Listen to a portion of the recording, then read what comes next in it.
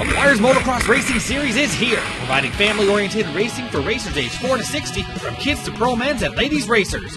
Full day admittance is only $10 per adult. Children 6 to 12 are 5 bucks, and kids under 6 are free.